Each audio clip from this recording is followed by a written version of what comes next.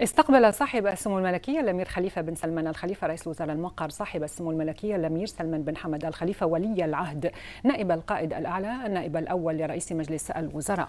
وخلال اللقاء استعرض سموهما عددا من الموضوعات المتصلة بالجهود المبذولة لتطوير الخدمات الحكومية وتعزيز تواصل الوزراء والمسؤولين مع المواطنين والتأكد من تحقيقها لرضاهم.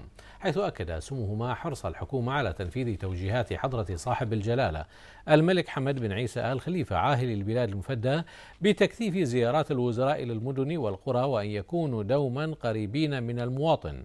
وأكد سموهما على ما تتيحه اللقاءات المباشرة مع المواطنين من تلمس احتياجاتهم حيث تشكل هذه اللقاءات فضاء مفتوحا للتباحث في كل شأن وطني.